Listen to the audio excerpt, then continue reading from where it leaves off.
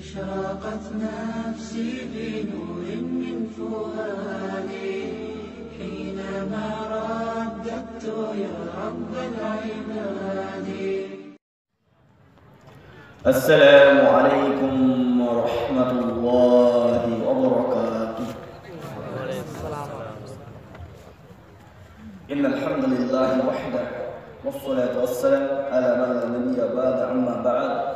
أعوذ بالله من الشيطان الرجيم وقل الحق من ربكم رب اشرح لي صدري ويسر لي أمري واحلل عقدة من لساني يفقهوا قولي শ্রদ্ধেয় সম্মানিত আজকের এই সভার সভাপতি সাহেব শ্রদ্ধেয় আমার সামনে উপস্থিত শ্রোতাবৃন্দ শ্রদ্ধেয় পর্দার আড়ালের মা ও বোনেরা আপনাদের সকলের উপর সর্বশক্তিমান আল্লাহর সুখ, শান্তি ও অনুগ্রহ বর্ষিত হোক। আজকের এই আলোচনা, আজকে আমি আপনাদের সামনে একটি গুরুত্বপূর্ণ বিষয় নিয়ে আলোচনা করার চেষ্টা করব ইনশাআল্লাহ অমত ফিতুল্লাহ আজকের বিষয়টি নিয়ে আপনাদের সামনে আলোচনা করা হবে যেটা বর্তমান প্রেক্ষাপটে আমাদের জন্য খুবই প্রয়োজন। আজকে আমরা অনেক ওয়াজ, নসিহত, জালসা শুনছি। অথচ আমরা সেগুলোর উপরে আমল করছি না কেন? তার কারণটা কি? সেই ব্যাপারে আমাদেরকে সঠিক, সূক্ষ্মভাবে বিষয়গুলো গবেষণা করে বের করতে হবে। আমরা কেন শুনে যাচ্ছি কিন্তু গ্রহণ করতে পারছি না? আপনি সাধারণভাবে জানেন, অনেক মানুষ যাকে জন্ডিস রোগে ধরেছে বা কামলা রোগে ধরেছে, দেখবেন যাকে কামলা বা জন্ডিস রোগে ধরে, দেখবেন তার শরীর খারাপ হচ্ছে, তার কোনো কাজে মন লাগছে না জ্বর ভাব লাগছে, এরকম একটা সমস্যা। আপনি হয়তো ভাববেন যে আপনার ছেলের শরীর খারাপ, জ্বর ভাব লাগছে, শরীর যেন কমজোর হয়ে যাচ্ছে। এই জন্য তাকে আপনি ফল, মূল, আপেল, আঙ্গুর, বেদানা, ভালো ভালো ফলমূল খাওয়াচ্ছেন। তার শরীরকে ঠিক করার জন্য। তো ভাই যদি আপনি তাকে ভালো মন্দ ফলমূল খাওয়াচ্ছেন খুবই যদি তার এই বেমারি তার যে কামলা বা জন্ডিস রোগ যে ধরেছে তাকে এটা যতক্ষণ পর্যন্ত চিকিৎসা না হবে ততক্ষণ পর্যন্ত আপনার ফলমূল খাওয়াই কি তার শরীর ভালো হবে? হবে না। আজকে আমাদের মুসলিম সমাজ আমরা ওয়াজ নসিহত অনেক শুনি কিন্তু আমরা গ্রহণ করতে পারি না এর পিছনে কোনো কারণ রয়েছে। সেই কারণগুলো যতক্ষণ পর্যন্ত আমরা দূর না করতে পারব, ততক্ষণ পর্যন্ত আমাদের সামনে যতই কোরআন হাদিস পেশ করা হোক। আমরা সেগুলোকে গ্রহণ করতে পারব না। সাধারণভাবে আমরা সত্যকে গ্রহণ করতে পারি না। তার কয়েকটি কারণ রয়েছে। তার কয়েকটি কারণের মধ্যে যেমন একটি কারণ হচ্ছে যে সত্য কাকে বলে, হক কাকে বলে, এই হক কাকে বলে এটাই আমরা বুঝি না। আমরা মনে করি যে হক বা সত্য বা ঠিক যেটাই, সেটা হচ্ছে আমরা যেটা বাপ দাদার কাল থেকে করে চলে আসছি। আমরা মনে করছি যে যেটা বাপ দাদার কাল থেকে করে চলে আসছি, এটাই ঠিক, এটাই হক। এই জন্য আমাদের কাছে যখন হক পেশ করা হয়, তখন আমরা বাপ দাদার দোহাই দিয়ে হককে প্রত্যাখ্যান করি। আরও আমরা বলি কি, যেসব নতুন নতুন মলবের নতুন নতুন ফতোয়া ওগুলো বাদ দাও যে বাদ দাও।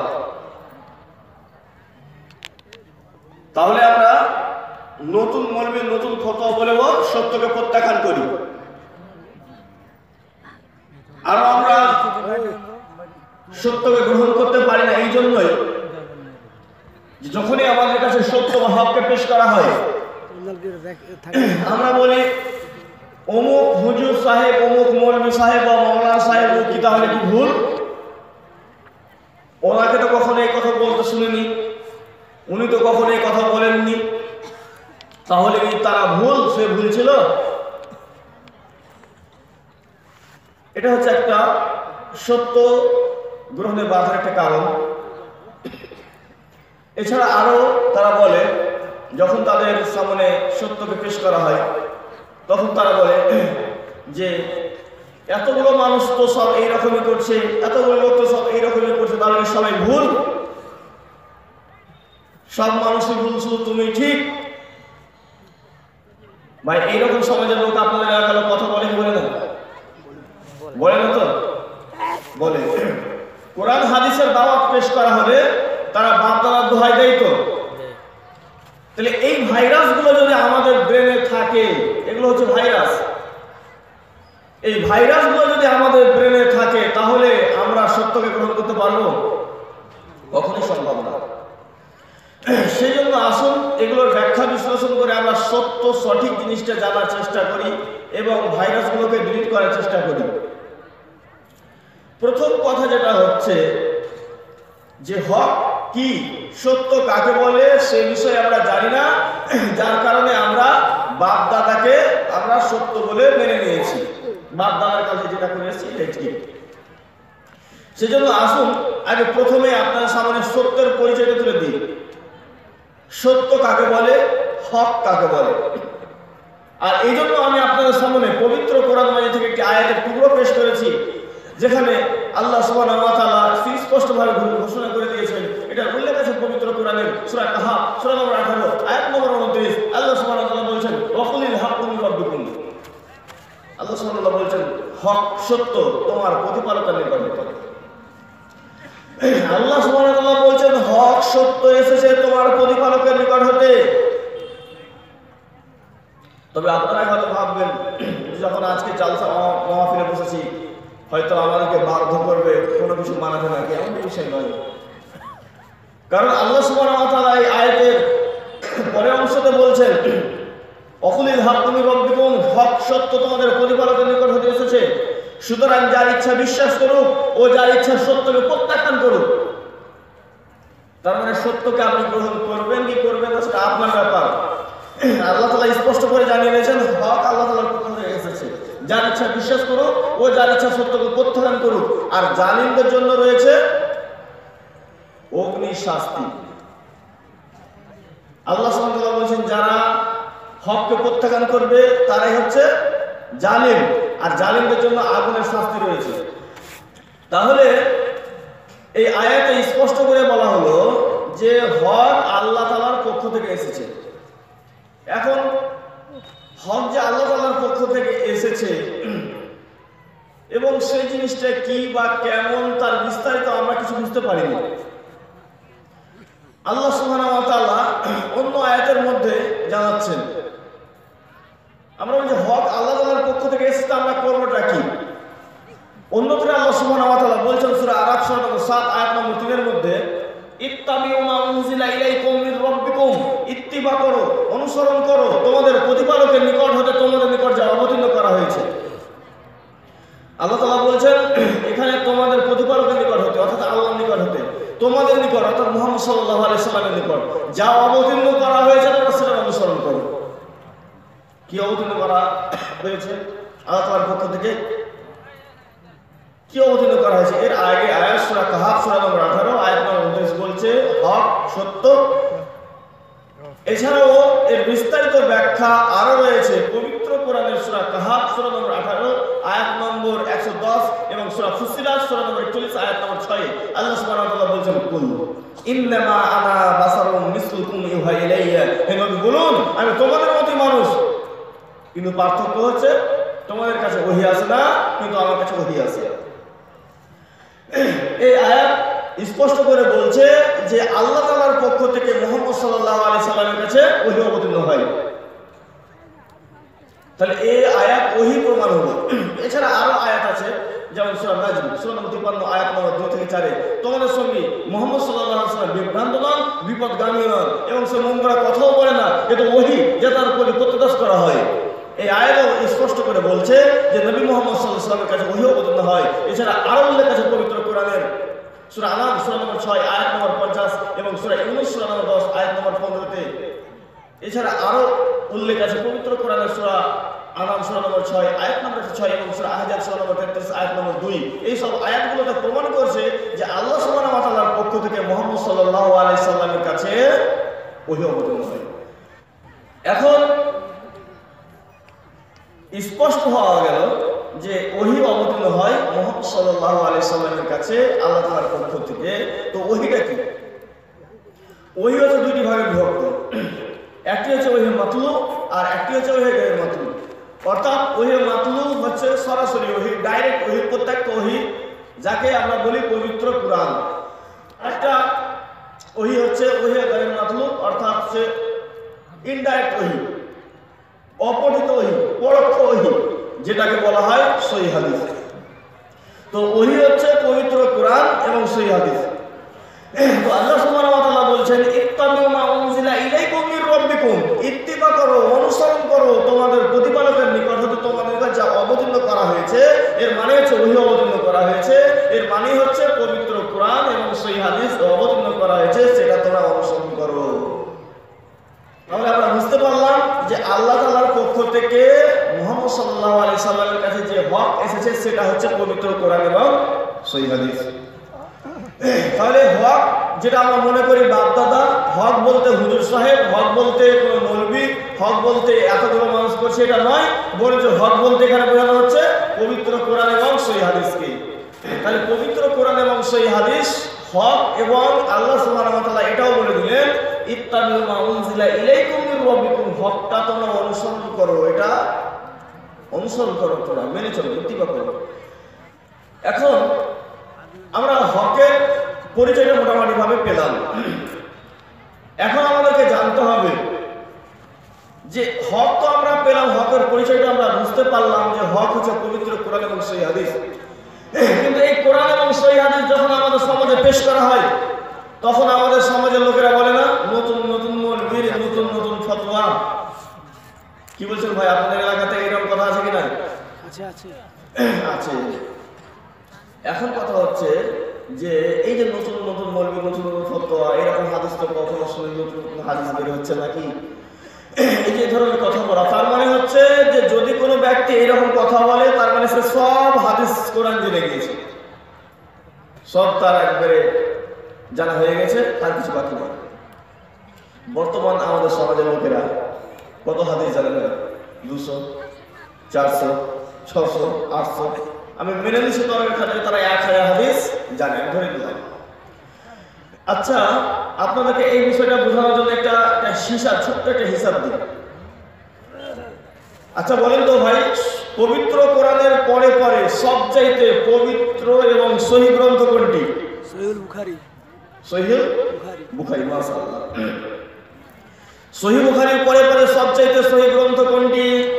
মুসলিম। সহি মুসলিম মাশাআল্লাহ। আচ্ছা ভাই সহি বুখারি এবং সহি মুসলিম ইমাম বুখারি রহমাতুল্লাহ আলাই সহি বুখারিতে মোটামুটি সাড়ে সাত হাজার হাদিস এনেছেন সেই সাড়ে সাত হাজার হাদিসে তিনি অনেক হাদিসকে ডবল এনেছেন চোদ্দ জায়গায় এনেছেন দশ জায়গায় এনেছেন মানে অনেক বেশি বেশি এনেছেন। সেই সব হাদিসগুলোকে যদি বাদ দিয়ে দেওয়া হয় তাহলে মোটামুটি সাড়ে চার হাজার থাকবে সহি বুখারিতে।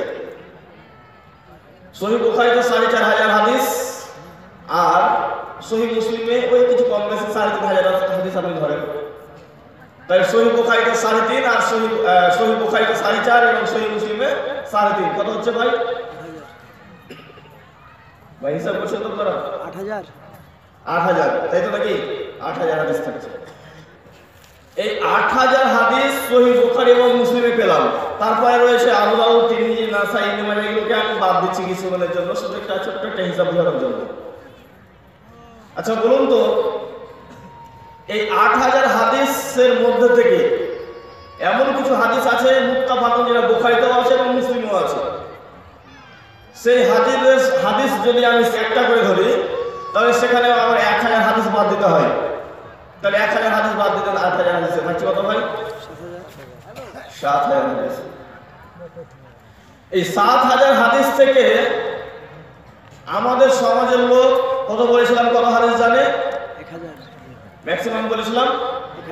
এক হাজার। হাদিস জানে। এক হাজার হাদিসে বাদ দিয়ে দেবে। কত থাকছে ভাই? ছয় হাজার হাদিস। এই ছয় হাজার হাদিস থাকছে বোখারি মুসলিমে শুধুমাত্র আমাদের জানার বাইরে। সব বাদশাহ দিয়ে শুধুমাত্র বোখারি মুসলিমই থাকছে, ছয় হাজার হাদিস যেটা আমাদের জানার বাইরে। এখন এই ছয় হাজার হাদিস থেকে যদি একটা হাদিস পেশ করা হয়, তাহলে আমাদের সমাজের কাছে নতুন মনে হবে না পুরানো মনে হবে বলুন? নতুন নতুন মনে হবে। তাহলে এবার আপনাদেরকে প্রশ্ন করি, হাদিসটি কি নতুন বের হলো নাকি আমাদের জানাটা নতুন হলো? আমাদের জানার নতুন আমাদের নতুন হলো হাদিস নয়। তাহলে হাদিস নতুন নয় আমাদের জানা নতুন অথচ আজকে আমরা কি বলছি? অজ্ঞত বশত যে নতুন নতুন মরবি নতুন নতুন ফতোয়া নতুন নতুন হাদিস বের হচ্ছে নাকি?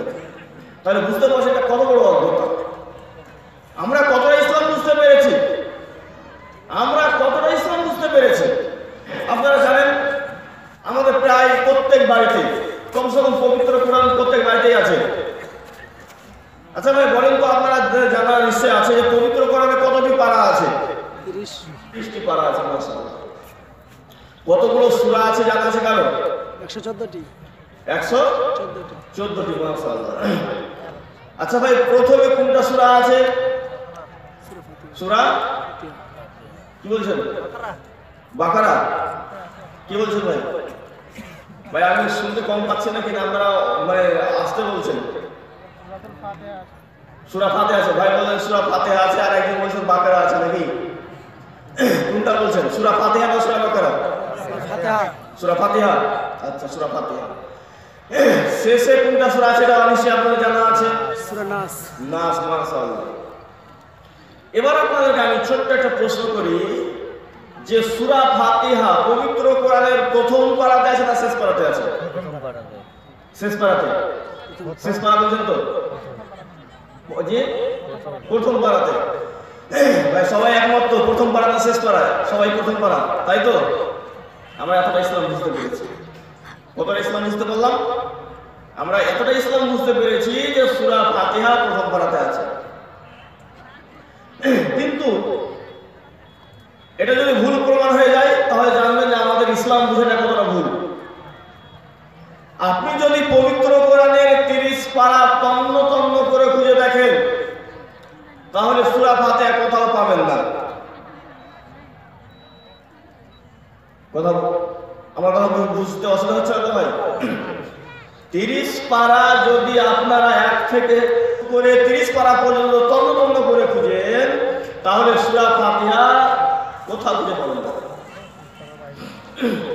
আসলে সুরা ফাতিহা পবিত্র কোরআনের তিরিশ পারার মধ্যে নেই। ভাই, আপনারা কি অন্য কিছু ভাবছেন? আশ্চর্য ব্যাপার তো। এই যে দেখুন পবিত্র কোরআন। আমরা সাধারণভাবে আমরা জেনে আসছি যে পবিত্র কোরআন মানে সুরা ফাতিহা তিরিশ পারার মধ্যে রয়েছে এই যে দেখুন পবিত্র কোরআনের সুরা ফাতিহা কোনো পাড়ার মধ্যে নেই পবিত্র কোরআনের সুরা ফাতিহা কোনো পাড়ার মধ্যে নাই। এটা পাড়ার বাইরে রয়েছে। কথা বোঝা যাচ্ছে না? প্রথম পাড়া শুরু হয়েছে আলিফ লাম মিম দিয়ে। এটা হচ্ছে পাড়ার নাম। তাহলে তিরিশ পাড়ার মধ্যে প্রথমে যখন হলো আলিফ লাম মিম, তো পবিত্র কোরআনে সূরা ফাতিহাতে কিন্তু আলিফ লাম মিম এরকম ভাবে শুরু হয়নি। শুরু হয়েছে কোথা থেকে? সূরা বাকারা থেকে তাহলে সূরা বাকারা হচ্ছে প্রথম পাড়া থেকে স্টার্ট আর সুরা ফাতেহা বাকারার আগেই রয়েছে। তাহলে বোঝা গেল যে সুরা ফাতিহা তিরিশ পাড়ার মধ্যে কোনো পাড়ার অন্তর্ভুক্ত নয় এটা পাড়ার বাইরে রয়েছে। ভাই কালকে আপনারা আবার বলবেন না তো কেউ জিজ্ঞাসা করলে বা আপনারা বলবেন যে কোথা থেকে মুর্শিদাবাদ থেকে আহ, আব্দুল কাইম সাহেব এসে বললেন যে সুরা ফাতিহা কোরআনেই নাই। তো? এটা আপনাদের দক্ষিণ দিনাজপুর নাকি? উত্তর দিনাজপুর একবার এসেছিলাম রাত্রি দুটো দিকে আমাকে দিয়েছে বক্তব্য রাখার জন্য। লোক তো দিকে ঘুমাবে। তো রাত্রি দুটো দিকে মানুষ ঘুমিয়ে ঘুমিয়ে বক্তব্য শুনছে। আর এইরকমই আমি বললাম যে সুরা ফাতিহা তিরিশ পাড়ার মধ্যে কোনো পাড়ার মধ্যে নাই। এটা পাড়ার বাইরে রয়েছে।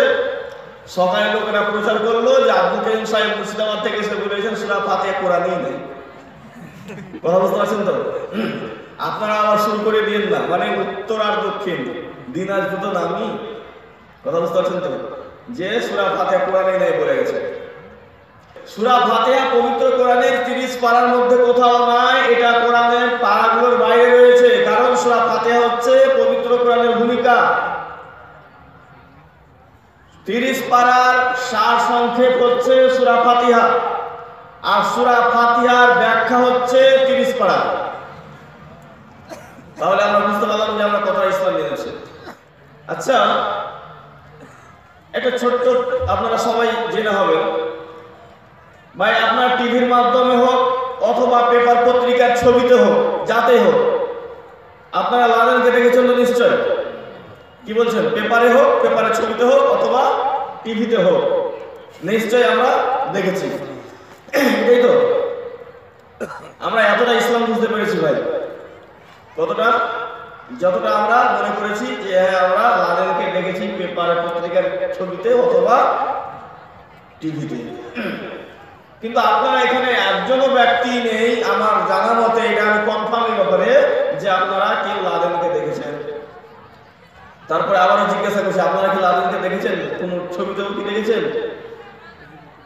কি বলছেন আপনারা আবার কম হয়ে গেলেন নাকি? আপনারা সন্দেহ করে গেলেন?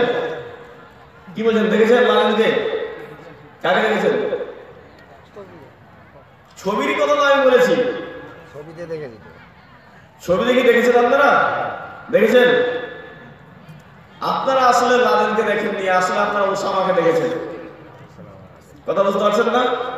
তাহলে আমরা দু হাজার এক সাল থেকে লাদেনকে দেখেছি লাদেনকে দেখেছি আমরা বলে এলাম। আসলে লাদেনকে এখানে কেউ দেখেনি। তাহলে আমরা ওটা ভুল জিনিস জেনে আসছি। আচ্ছা ভাই লাদেন ওসামাকে তো আমরা দেখেছি। ওসামার বাপকে কি আমরা দেখেছি? বা ওসামার বাপের নাম কি আমরা বলতে পারব? জানি না তো। আমরা জানি না। তো যাই হোক তার কথা বাড়াচ্ছি না। বুঝতে পারলাম যে আমরা এতটা ইসলাম জেনেছি তারপরেও আজকে আমরা কি বলছি? নতুন নতুন মৌলবী, নতুন নতুন ফতোয়া, নতুন নতুন হাতে বের হচ্ছে এখন এই যে আমরা এই কথা বলে সত্যকে প্রত্যাখ্যান করছি, এটা যে অজ্ঞতা, কত বড় অজ্ঞতা মানে অজ্ঞতার সমুদ্রে আমরা হাবুডুবু খাচ্ছি। সুতরাং এই ধরনের কথা আমাদের বলা কোনো যুক্তি আছে না। এখন সেটাও আমরা বুঝলাম। কিন্তু এখন যে আমরা বাপদাদার দোহাই দিচ্ছি। বাপদাদার কাল থেকে এতগুলো কথা আমরা শুনে আসছি, তাহলে কি ভুল? ভাই বাপদাদার যখন দোহাই দিবেন, তার মানে বাপদাদাকে আপনি সত্যের মানদণ্ড মনে করলেন। তো বাপদাদা সত্যের মানদণ্ড যদি মনে করে তাহলে আপনাদেরকে বলি, আল্লাহ রসুল সাল্লাহ সাল্লামের যুগে তিন প্রকার লোক ছিল। এক প্রকার ছিল খাঁটি মুসলিম অর্থাৎ সাহাবা ইকরাম, আর এক প্রকার ছিল খাঁটি কাফের যেমন আবু জেহেল, আবুল আহাব। যাদেরকে এক প্রকার খাঁটি মুসলিম, আর এক প্রকার খাঁটি কাফের। আর এক প্রকার লোক ছিল নকল মুসলিম, যাদেরকে কোরআন হাদিসের ভাষায় বলা হয়েছে মুনাফিক। নবী সাল্লাল্লাহু আলাইহি সাল্লামের যুগে যারা মুনাফিক ছিল তারা নিজেদেরকে মুসলিম বলে দাবি করত, তারা নামাজও পড়তো, তারা বাহ্যিকভাবে সবকিছু করত।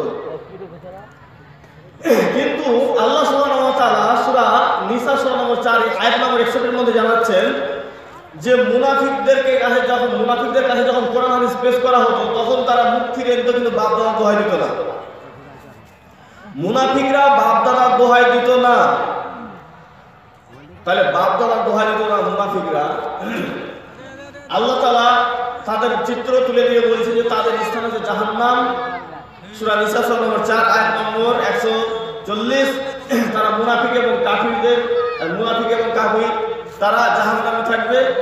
এছাড়াও আল্লাহ তালা সুরা নিসা নম্বর চার, আয়াত নম্বর একশো পঁয়তাল্লিশের মধ্যে বলছেন যে মুনাফিকরা তো থাকবে জাহান্নামের নিম্নতর স্তরে এবং কখনো তাদের জন্য কোনো সাহায্যকারী পাবে না। তাহলে মুনাফিকদের স্থান জাহান্নাম, এ কথা আল্লাহ সুবহানাহু ওয়া তাআলা পবিত্র কোরআনে স্পষ্ট করে বলে দিয়েছেন। আর বিশেষ করে যারা চলে যাচ্ছেন, তারা যাবেন না, কারণ শেষে আপনাদের জন্য উন্মুক্ত প্রশ্ন উত্তর পর্ব থাকবে। আপনারা আপনাদের মনে প্রশ্ন করতে পারবেন। এটা সুযোগ থাকবে ইনশাআল্লাহ। যেটা এর আগে হয়তো আপনাদের সামনে বলা হয়েছে, আবারও আমি বলে দিলাম। হ্যাঁ তো যে বিষয়টা বলছিলাম, যে মুনাফিকদের স্থান জাহান্নাম, এ কথা আল্লাহ সুবহানাহু ওয়া তাআলা স্পষ্টভাবে জানিয়ে দিয়েছেন। তারপরেও কিন্তু সেই মুনাফিকরা কিন্তু বাপ দাদার দোহাই দিত না। বাপ দাদার তারা দোহাই দিত না। কিন্তু বর্তমান মুসলিম সমাজে তারা বাপ দাদার দোহাই দিচ্ছে। এই বাপ দাদার দোহাই দেওয়া, এটা এই নীতিটা কোথা থেকে তারা গ্রহণ করল? আপনি যদি দেখেন, এই নীতিটা আমরা কোথা থেকে নিয়েছি বাপ দাদার দোহাই দেওয়া? এর উত্তর রয়েছে পবিত্র কোরআনের সূরা সূরা নম্বর 2 আয়াত নম্বর 70 সূরা মাইদা সূরা নম্বর 5 আয়াত নম্বর 4 সূরা লুকমান সূরা নম্বর 31 আয়াত নম্বর 21 আল্লাহ সুবহানাহু ওয়া যখন তাদের বলা আল্লাহ যে অবহেলা করেছেন, তার অনুসরণ করো। তারা বলে, না। আমরা তারই অনুসরণ করব যাতে আমাদের পিতৃপুরুষ অর্থাৎ বাপ দাদাদেরকে পেয়েছে। এই আয়াত কারণ হলো, আল্লাহ রাসূল সাল্লাল্লাহু আলাইহি সাল্লাম একবার ইহুদি গোত্রের কাছে ইসলামের দাওয়াত নিয়ে গেলেন। বললেন, আল্লাহ যা অবতীর্ণ করেছেন সেটা তোমরা মেনে নাও সেই ইহুদিরা বলেছিল, আমাদের বাপ দাদারা বেশি বুদ্ধিমান, আমাদের বাপ দাদারা বেশি জ্ঞানবান। সুতরাং আমাদের বাপ দাদারা যে পথে চলেছে, আমরা সে পথে চলবো। সুতরাং এই প্রসঙ্গে আয়াত নাজিল হলো সূরা বাকারা সূরা নম্বর 2 আয়াত নম্বর 70 আল্লাহ তাআলা জানিয়ে দিলেন যদিও তাদের বাপ দাদারা কিছুই বুঝতো না এবং তারা সৎ পথে পরিচালিত না, তারপর তারা বাপ দাদা দোহাই দিচ্ছে। তাহলে বোঝা গেল কি? এই বাপ দাদা দোহাই দেওয়া এটা হচ্ছে ইহুদিদের নীতি। এটা হচ্ছে অমুসলিমদের নীতি, এটা হচ্ছে কাফিরদের নীতি, এটা হচ্ছে মুসলিমদের নীতি। দুর্ভাগ্যজনক হলেও সত্য, আজকে আমাদের মুসলিম সমাজ, আজকে আমরা বাপ দাদার দোহাই দিতে শিখেছি। আজকে আমরা আমাদের সামনে কোরআন হাদিস পেশ করা হলে, যেমন ইহুদিদের সামনে কোরআন হাদিস পেশ করা হলে তারা বাপ দাদার দোহাই দিত, একইভাবে আজকে আমরা মুসলিম, তারপরে আজকে আমাদের সামনে কোরআন হাদিস পেশ করা হলে, আজকে আমরা বাপ দাদার দোহাই বাপ দাদার কাল থেকে করে আসছে। কি বলছেন মুসলিম আমাদের বাপ দাদারা কি ভুল? বন্ধুগণ, এই বাপ দাদা যতক্ষণ পর্যন্ত আমরা বাপ দাদা নামক ভাইরাস ডিলিট না করতে পারব, ততক্ষণ পর্যন্ত আমরা সত্যকে গ্রহণ করতে পারব না। তারপরে আসি, হুজুরদের দোহায় অন্ধ অনুসরণ। তাহলে কোন মৌলী সাহেব ভুল উনি জানতেন না, একে বলে অন্ধ অনুসরণ। ইসলামে অন্ধ অনুসরণ বৈধ নয় আল্লাহ সুবহানাহু ওয়া তাআলা পবিত্র কোরআনের সূরা নাহল সূরা নম্বর 16 আয়াত নম্বর 43 এবং 44 জানাচ্ছেন ফাসআলু আহলা যিকরি ইন কুনতুম লা তা'লামুন। যদি তোমরা না জানো, তাহলে যারা আহলে জিকির যারা জ্ঞানী, তাদেরকে জিজ্ঞাসা করো, বিল বাইনাতি ওয়াজ জুবুর স্পষ্ট প্রমাণাদি ও গ্রন্থবলী সহকারে। আল্লাহ সুবহানাহু ওয়া বলছেন যে, তোমরা দলিল সহকারে যারা জানে, তাদের কাছ থেকে জেনে নাও। দলিল সহকারে জানো, স্পষ্ট প্রমাণ গ্রন্থবলী সহকারে বিল বাইনাতি ওয়াজ জুবুর তাহলে অন্ধ অনুসরণ নয়, দলিল সহকারে আপনাকে জানতে হবে। আর যদি আমরা অন্ধ হয়ে যাই, তাহলে আমাদের কাছে দলিল বেকার হয়ে যাবে। এই জন্য একটা প্রবল বাক্য আছে, অন্ধ ভক্তি যেখানে, দলিল অচল সেখানে। ভক্তি যদি অন্ধ হয়, দলিল তো অচল হয়ে যাবে ভাই। দলিল অচল, ভক্তি যদি আপনার অন্ধ হয়, আপনার কাছে যত দলিল পেশ করা হোক সাহেব ভুল কি জানতেন না? তাহলে দলিল তো আপনার কোনো মূল্যই থাকছে না। আল্লাহ ওয়া পবিত্র কোরআনে আরও ভয়ঙ্কর যদি তারপরেও আমরা অন্ধ অনুসরণ করি, আল্লাহ ওয়া জানিয়ে দিচ্ছেন, এটা হবে শিরক। শিরক আল্লাহ সূরা নম্বর 9 আয়াত নম্বর 31 মধ্যে গ্রহণ জানাচ্ছেন তারা ইহুদি খ্রিস্টানরা তারা গ্রহণ করেছে তাদের পণ্ডিতগণকে তাদের প্রভুরূপে আল্লাহকে ছেড়ে। আল্লাহ তাআলা বলেন ইহুদি খ্রিস্টানরা তাদের আলেমদের, তাদের ধর্মযাজকদের তাদের পাদ্রীদের কে রব বানিয়ে নিয়েছে, তাদের ইবাদত করছে। এই আয়াত নাজিলের পরে নবী সাল্লাল্লাহু আলাইহি সাল্লাম এই আয়াত তেলাওয়াত করছেন এবং আদিম হাতিম তিনি নবী আলাইহি সাল্লামকে আয়াত তেলাওয়াত করছেন, তেলাওয়াত করতে শুনছেন এবং বলছেন, হে আল্লাহ রাসূল তখন তিনি খ্রিস্টান ছিলেন। হে আল্লাহ রাসূল, কই আমাদের জনসাধারণ তো কই আমরা তো আমাদের আলেমদের, আমাদের পাদ্রীর তো ইবাদত করি না, অথচ আল্লাহ তাআলা কেন কথা বলছেন? আল্লাহ রসুল বলছেন যে কোনো আপনি তাফসিরটি দেখবেন সূরা তওবা সূরা 9 আয়াত নম্বর 31 তাফসিরে মারিফুল কোরআন দেখেন, তাফসিরে ইবনে কাসির দেখেন চাই আরও অন্য তাফসির দেখেন। যে কোনো তাফসিরে সূরা তওবার 31 নম্বর আয়াতে এই বর্ণনা, এই ঘটনাটা পাবেন আর এর মূল ব্যাখ্যাটা রয়েছে, এটা লেখা আছে সহিহ তিরমিজি, কিতাব তাফসীর, অধ্যায় নম্বর 44 অনুচ্ছেদ নম্বর 10 হাদিস নাম্বার 3095 হাদিম হাদিমের প্রশ্নের উত্তরে নবী আলাইহি সাল্লাম বলছেন যে ইহুদি খ্রিস্টানরা তাদের আলেমদের ইবাদত করে না কথা ঠিক। কিন্তু এটা তো সঠিক। যখন তারা কোনো জিনিসকে হালাল করে, তখন তারা হালাল। আর যখন তারা কোনো জিনিসকে হারাম করে, তখন তারা হারাম বলে মেনে নেয়। বলছে হ্যাঁ আমাদের ইমামরা, আমাদের মৌলবীরা আমাদের যে যা বলে আমরা সেটা একবারে মেনে নিই আল্লাহ বলছে, এটাই হচ্ছে তাদের ইবাদত করা। সুতরাং বোঝা গেল যে আপনি যদি একেবারে অন্ধ হয়ে যান, তাহলে এটা আপনার জন্য কি হবে? শিখ কারণ আপনাকে জেনে বুঝে মানতে হবে।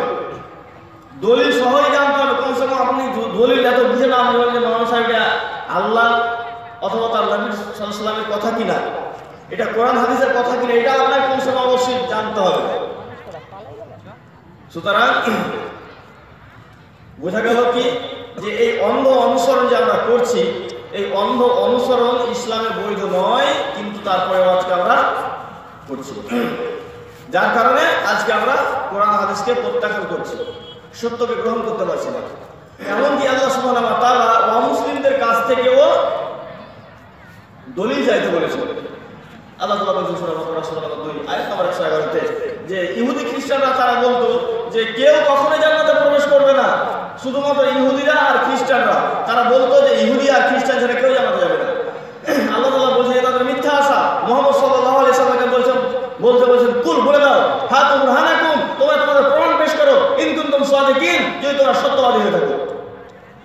আল্লাহ বলছেন, ওরা বলছে, কেউ জান্নাতে যাবে না, শুধু ইহুদি খ্রিস্টানরাই তো তো ওদেরকে বলেন দলিল পেশ করো তোমরা তাহলে অমুসলিমদের কাছ থেকে দলিল চাইতে বললেন আল্লাহ সুবহানাহু ওরা কোথা থেকে দলিল দেবে ভাই? ইহুদি খ্রিস্টানরা কোথা থেকে দলিল কোরআন থেকে না হাদিস থেকে? ইহুদি খ্রিস্টানরা কোরআন থেকে না দলিল দেবে, না হাদিস থেকে দলিল দেবে? তারা কোথা থেকে দেবে? তারা দেবে? তারা দেবে তাওরাত জবুল ইনজিল। তাদের যে কাছে যে বিকৃত রূপে রয়েছে, যাকে বলা হয় বাইবেল। বাইবেল থেকে তারা দলিল দিবে। কিন্তু বাইবেলে কোথাও কথা লেখা নাই যে শুধুমাত্র ইহুদি আর খ্রিস্টানরা জান্নাতে যাবে এই কথা বাইবেলে কোথাও লেখা নাই। আপনি যদি বাইবেল পড়েন, দেখবেন এর কথা, এর উল্টো কথা লেখা আছে বাইবেলে। এটা উল্লেখ আছে বাইবেলের নতুন নিয়ম মথিক সাত অধ্যায় একুশ থেকে তেইশ নম্বর অনুচ্ছেদ। যীশু খ্রিস্ট বলছে, যারা আমাকে প্রভু প্রভু বলে ডাকে, তারা যে সকলেই স্বর্গরাজ্যে প্রবেশ করতে পারবে, তা নয়। কিন্তু যে আমার সর্বস্ত পিতা ঈশ্বরের ইচ্ছা পালন করবে, সেই শুধু স্বর্গের রাজ্যে প্রবেশ করতে পারবে। আর সেই দিনটি যখন আসবে, তখন অনেকে আমাকে বলবে প্রভু, তোমার নাম নিয়ে তো আমরা অনেক ভাবভক্তি করেছি। তোমার নাম নিয়ে আমরা কত অপদেবতা তাড়িয়েছি এবং কত অলৌকিক কাজ সম্পন্ন করেছি। তখন আমি তাদের বলব, কোনো কালে আমি তোমাদের চিনতাম না, অধর্মচারী দল হয়ে যাবে যীশু খ্রিস্ট বলছে, সেই দিন, অর্থাৎ কিয়ামতের দিন, লোকেরা যখন তার কাছে এসে বলবে, ও প্রভু ও প্রভু, যীশু খ্রিস্ট বলছে, তখন আমি তাদেরকে দূর দূর করে দেবো। অধর্মচারী দল দূর হয়ে যাবে এখান থেকে। কোনো কালে আমি তোমাদের চিনতাম না। স্বর্গদূত তারা এই করে প্রবেশ করবে যারা সৃষ্টিকর্তার ইচ্ছা পালন করে। আর সৃষ্টিকর্তার যারা ইচ্ছা পালন করে, তাদেরকে আরবিতে বলা হয় মুসলিম। যীশু খ্রিস্ট বলছে, মুসলিমরা জান্নাতে প্রবেশ করবে। তাহলে বাইবেলে কোথাও কথা উল্লেখ নেই যে শুধুমাত্র ইহুদি আর খ্রিস্টানরাই জান্নাতে প্রবেশ করবে। তাহলে অন্ধ অনুসরণ, এটা হচ্ছে সত্য গ্রহণের একটা বড় ধরনের বাধা। এখন আপনাদের সামনে শেষ যে পয়েন্টটা নিয়ে আলোচনা করব যেহেতু রাত হয়েছে, আপনারা বিরক্তি বোধ করছেন সেই জন্য আমি পয়েন্টগুলো সংক্ষেপে সারলাম এবং এই পয়েন্টে আলোচনা করব যে আমরা শেষ পর্যন্ত অধিকাংশ দিই অধিকাংশ মানুষকে তাহলে ভুল। অধিকাংশ মানুষ কিছু বুঝে না। সব মানুষকে এইরকম দেখছি। এই পয়েন্ট আলোচনা করে শুরু হবে আপনাদের সামনে উন্মুক্ত প্রশ্ন উত্তর পর্ব। তবে আপনারা লিখিতভাবে প্রশ্ন না করে সরাসরি প্রশ্ন করার চেষ্টা করবেন, লিখিত আকারে কেউ প্রশ্ন করার চেষ্টা করবেন না। সরাসরি প্রশ্ন। মাইক্রোফোন আছে সমস্যা নেই। আপনারা ধারাবাহিকভাবে তার কি সিস্টেমে আপনারা প্রশ্ন করবেন সেটাও আমি বলে দিচ্ছি। আর ইনশাল্লাহ প্রশ্ন উত্তর পর্বটা বেশি আরও মজাদার হবে। আশা করছি ইনশাল্লাহ এখন আমাদের সামনে যখন কোরআন হাদিস পেশ করা হয় তখন আমরা বলে থাকি যে এতগুলো মানুষ তাহলে কি ভুল? আবার অনেক মানুষ বলে যে "হ্যাঁ, দশ যেখানে আল্লাহ সেখানে। বা এরকম বলে না অনেক মানুষ দশ যেখানে আল্লাহ সেখানে? দশ যেখানে আল্লাহ সেখানে যদি এরকম হয় তাহলে আপনাদেরকে একটা ঘটনা বলি যেটা পবিত্র কোরআন সুরা ইউসুফ, সুরা নম্বর বারোতে উল্লেখ যে ইউসুফ আলাই সাল্লামকে যে হত্যার ষড়যন্ত্র করেছিল, তার ভাইরা সংখ্যায় ছিল কত জানেন? দশ। সংখ্যায় ছিল দশ। ইউসুফ আলাই সাল্লাম একাই। তো ভাই, আল্লাহ তালা দশ ভাইয়ের দিকে ছিলেন নাকি একা ইউসুফ ইউসুফ আলাই সাল্লামের দিকে ছিলেন? ইউসুফ। আলাই সাল্লামের দিকে ছিলেন। তাহলে বোঝা গেল কি? দশ যেখানে আল্লাহ, সেখানে? কি বোঝা গেল? বোঝা গেল। দশ যেখানে আল্লাহ, সেখানে নয়। আল্লাহ সেখানে। সুতরাং আমাদের যে ধারণা যেখানে আল্লাহ সেখানে ভুল ধারণা। অধিকাংশ মানুষকে দিয়ে যদি আমি হকের মানদণ্ড অংশকে যদি হকের মানদণ্ড মনে করেন, তাহলে জেনে রাখেন, আল্লাহ তাআলা পবিত্র কোরআনের সূরা ইউসুফ সূরা 12 আয়াত 68 এর মধ্যে বলছে তুমি যত আকাঙ্ক্ষা করো না কেন অধিকাংশ মানুষ বিশ্বাস করবে না। বেশিরভাগ লোক তারা বিশ্বাস করবে না, সত্যটাকে মানবেই না বেশিরভাগ মানুষ। আর সাধারণভাবে আমরা দেখতে পাই, আপনাদের এলাকার কথাই আপনারা বলেন, আপনাদের এলাকায় বেশিরভাগ লোক, যদি আপনারা মনে করেন যে বেশিরভাগ মানুষ কি ভুল করবে, তাহলে কি বলছেন ভাই, আপনাদের এলাকায় বেশিরভাগ লোক নামাজ পাঁচ নামাজ পড়ে তো নাকি? বেশিরভাগ লোক পাঁচ নামাজ পড়ে না? তো ভাই, বেশিরভাগ লোক পাঁচ যদি নামাজ না পড়ে। এটা শুধু আপনাদের এলাকার কথা বলছি না, পুরো যদি আপনাদের উত্তর, দক্ষিণ দিনাজপুর দেখেন, তারপরেও কি হবে? ফলাফলটা বেশিরভাগ লোক নয়। যদি পুরো পশ্চিমবঙ্গ দেখেন, তারপরেও নয়। পুরো ইন্ডিয়া দেখেন, তারপরেও নয়। যদি পুরো পৃথিবী দেখেন, তারপরেও বেশিরভাগ লোক যে পাঁচ নামাজ পড়ছে, এটা নয়। তাহলে বেশিরভাগ লোক যদি নামাজ না পড়ে আর যদি আপনারা বলেন দশ যেখানে আল্লাহ সেখানে তাহলে তো আল্লাহ তালা বেনামাজের দিকে হয়ে যাবে ভাই কি বলছেন আপনারা? বেশিরভাগ লোক যখন বেনামাজি তো আল্লাহ তালা হয়ে যাবে না? সুতরাং এই ধারণা ভুল। আপনি সাধারণভাবে জানেন, যখন দশ যেখানে আল্লাহ, সেখানে বেশিরভাগ লোক কি ভুল করে কথা বলছেন? আচ্ছা ভাই, তাহলে বলেন তো নিশ্চয়ই আপনারা জেনে হবেন, আপনাদের এলাকাতে বেশিরভাগ মানুষ বিড়ি, সিগারেট গুল জর্দা খই কোনো নেশার সাথে- জড়িত আছে নাকি বেশিরভাগই মানে লোক জড়িত নেই? কোনো না কোনো নেশার সাথে? বেশিরভাগই জড়িত আছে। বেশিরভাগই জড়িত আছে। তার মানে বোঝা গেল যে আপনারা এটা ভালোভাবে জেনে ফেলেছেন যে বিড়ি সিগারেট গুলজারদা খৈনিতে হ্যাঁ নিশ্চয়ই vitamin A B C D কোনো একটা আছে নাকি? কি বলছেন? আছে তো? নাই কোনো কিছু নাই? আচ্ছা যখন এতটা আপনারা জানতে পারলেন যে কিছু নাই, তারপরে লোক খাচ্ছে। তাহলে যদি কিছু না থাকে, কমসে কম ক্ষতিটা নাই। ক্ষতি আছে বলছেন? যখন ক্ষতি আছে বলছেন, তাহলে আপনাদের এলাকার লোক এগুলোর সঙ্গে না জড়িত থাকবে, এটা হতে পারে না। কারণ যে বেশিরভাগ মানুষকে ভুল করবে। যদি আপনারা এটা স্বীকার করেন, তাহলে আপনাদের বিরুদ্ধে যাচ্ছে। এতে গেলে আপনার এটা বিরুদ্ধে যাচ্ছে। কোনো একটা আপনার স্বীকার করতে হবে। আপনি বলছেন, না এগুলোতে ক্ষতি আছে, ভিটামিন নাই, কিছু নাই। তারপরে বলছেন বেশিরভাগ লোক ওগুলো খাচ্ছে। তাহলে আপনি বলেন, না, যে বেশিরভাগ লোক যারা খাচ্ছে, তারা ঠিক করছে। আপনি বলেন, না না না বেশিরভাগ লোক কেন সারা পৃথিবীর লোক খেলেও এটা এটা ক্ষতিকার ক্ষতিকার ক্ষতিকার ক্ষতিকার কারণ বিজ্ঞান আমাদেরকে জানিয়েছে, তামাকের ফাঁকে নিকোটিন নামক এক প্রকার বিষ এবং টান নামক এক প্রকার বিষ যা মানুষকে ধীরে ধীরে হত্যা করতে থাকে। আনন্দবাজার পত্রিকার রিপোর্ট অনুযায়ী কলম অনুযায়ী প্রত্যেক দিন ভারতবর্ষে দুই হাজার দুশো লোক মারা যাচ্ছে শুধুমাত্র ধূমপানের কারণে।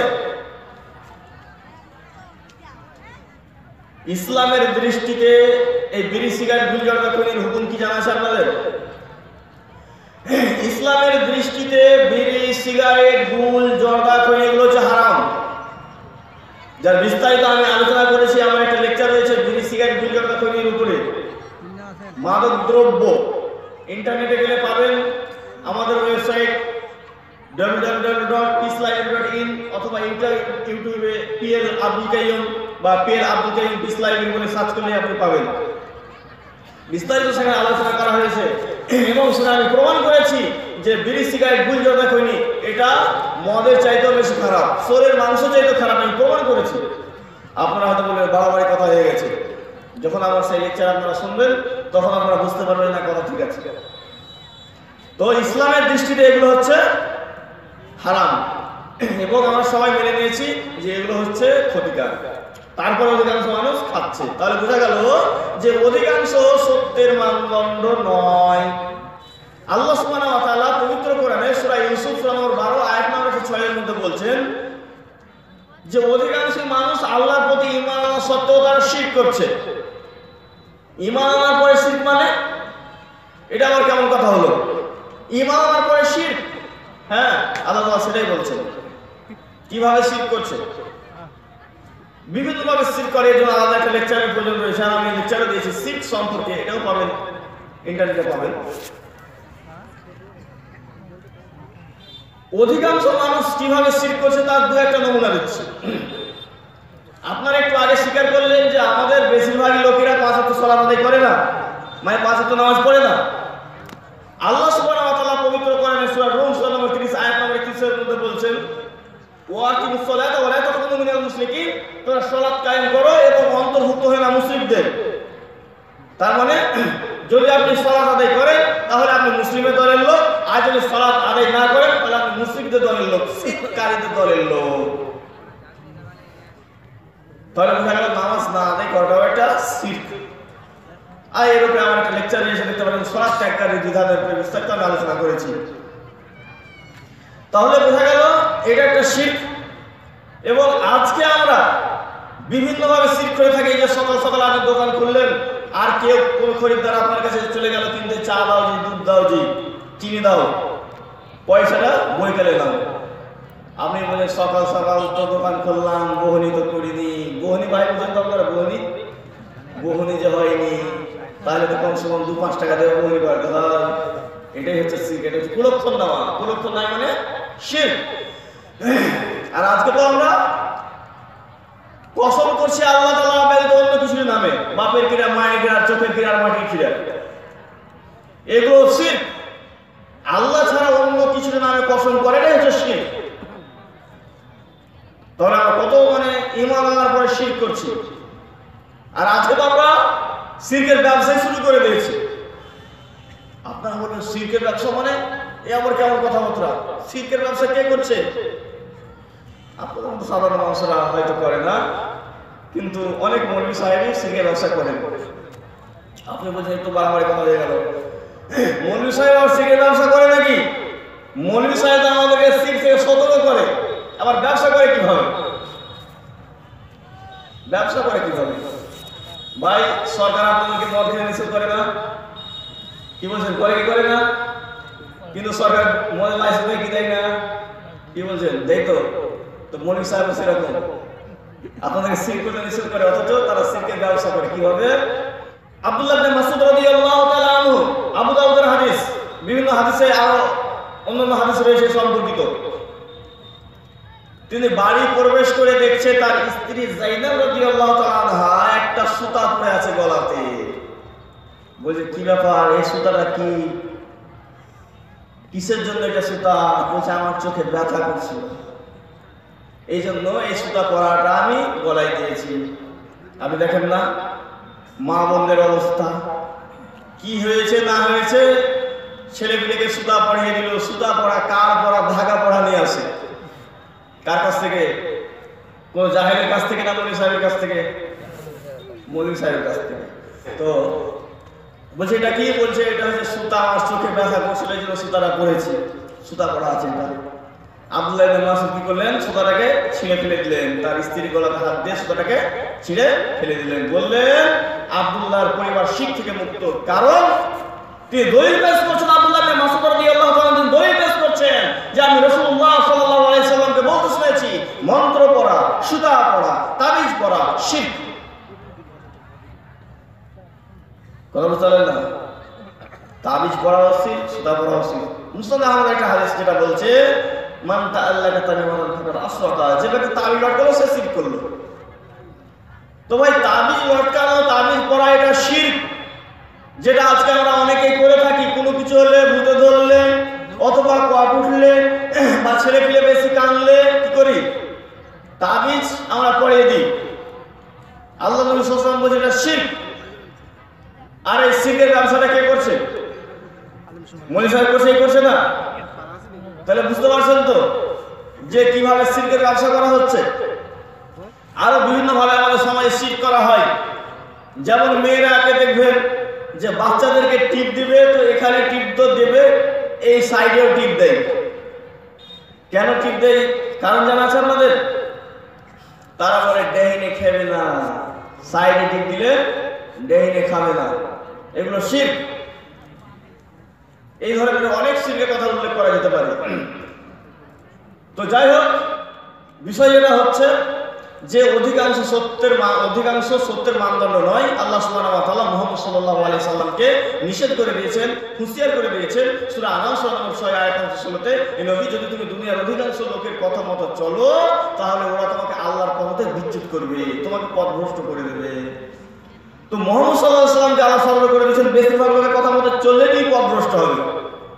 তো মোহাম্মদ সাল্লাম যদি পথভ্রষ্ট হয়ে যাবে বেশিরভাগ লোকের কথা মতো চলে তো ভাই, আমরা আজকে বেশিরভাগ লোকের দেখা দেখি আজকে আমরা সুপথ খুঁজছি। সুপথ পাবো কোথায়? লোকের কাছ থেকে। আল্লাহ তাআলা বলছেন আলাইহি সাল্লাম পথভ্রষ্ট হবে আর আমরা সুপথের আশা করছি। তাহলে বুঝতে পারছেন পার্থক্যটা কোথায়? আল্লাহ ওয়া বহু জায়গাতে সতর্ক করে দিয়েছেন অধিকাংশ সম্পর্কে এবং অধিকাংশ সম্পর্কে অনেক জায়গাতে। এমনকি নবী মোহাম্মদ সাল্লাল্লাহু আলাইহি সাল্লাম জানিয়ে দিয়েছেন যে মানুষের মধ্যে কত পার্সেন্ট মানুষ জাহান্নামে যাবে? এটা উল্লেখ আছে বুখারী। কিতাব আম্বিয়া, অধ্যায় নম্বর ষাট, অনুচ্ছেদ নম্বর সাত, হাদিস নম্বর তিন হাজার তিনশো আটচল্লিশ। আল্লাহ রসলাম বলছেন যে আদম সন্তানের মধ্যে থেকে প্রত্যেক হাজারে নশো নিরানব্বই জাহান নামে যাবে। প্রত্যেক হাজারে নশো নিরানব্বই জাহান নামে যাবে। তাহলে বুঝতে পারছেন কত মারাত্মকটা। আর এই জন্য আল্লাহ তাআলা পবিত্র কোরআনের বিভিন্ন আয়াতে বলেছেন, অধিকাংশ লোক অধিকাংশ লোক বুঝবে না। যেমন উল্লেখ আছে পবিত্র কোরআনের সূরা বাকারা নম্বর 2 আয়াত নম্বর 100 সূরা আলী ইমরান নম্বর 3 আয়াত নম্বর 110 সূরা মাইদা সূরা নম্বর 5 আয়াত নম্বর 50 সূরা সূরা নম্বর 6 আয়াত নম্বর 11 সূরা আরাফ, সূরা নম্বর 7 আয়াত নম্বর 2 সূরা তাওবা, সূরা নম্বর 9 আয়াত নম্বর 8 সূরা ইউনূস, সূরা নম্বর 10 আয়াত নম্বর 36 সূরা ইউসুফ, সূরা নম্বর 12 আয়াত নম্বর 38 সূরা রাদ সূরা নম্বর 13 আয়াত নম্বর 1 সূরা নাহল সূরা নম্বর 16 আয়াত নম্বর 83 সূরা ইসরা সূরা 17 আয়াত নম্বর 90 সূরা আম্বিয়া সূরা নম্বর 21 আয়াত নম্বর 24 সূরা মুমিনুন সূরা নম্বর 23 আয়াত নম্বর 70 সূরা ফুরকান সূরা নম্বর 25 আয়াত 44 সূরা সূরা নম্বর 27 আয়াত নম্বর 73 সূরা রুম সূরা নম্বর 30 আয়াত নম্বর 42 সূরা জুখরুফ সূরা নম্বর 43 আয়াত নম্বর অনেক আয়াতে আল্লাহ সুবহানাহু ওয়া অধিকাংশ লোক অজ্ঞ লোক বুঝা বলেছেন। সারসংক্ষেপ্ত কথা হচ্ছে এটাই, যে সত্য প্রত্যাখ্যান যে আমরা বিভিন্নভাবে করে থাকছি, এগুলো হচ্ছে তার কারণ, এগুলো হচ্ছে ভাইরাস, এগুলো আমাদেরকে দূর করতে হবে। আমি আপনাদের সামনে আলোচনা শেষ করে এবার প্রশ্নোত্তর পর্বে আসার জন্য আমি খুবই সংক্ষেপে বলে দিলাম।